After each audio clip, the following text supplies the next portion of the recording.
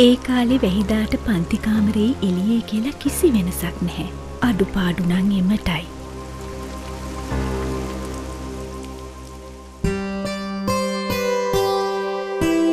ඒත් දැන් ඉස්කෝල හැදිලා. දරුවොත් ආසාාවෙන් ඉගෙන ගන්නවා.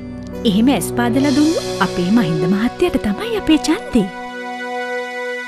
සුභ අනාගතයක්.